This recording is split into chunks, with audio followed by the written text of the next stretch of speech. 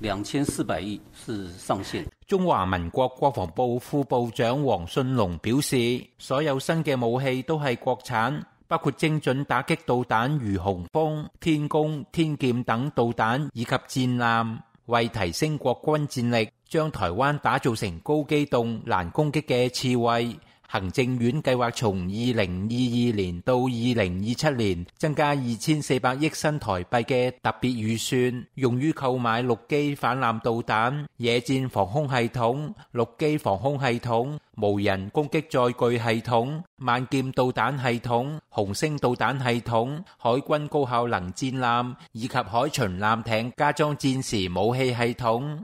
黄信龙话：为因应当前嘅威胁同区域情况变化，国军急需提升战力。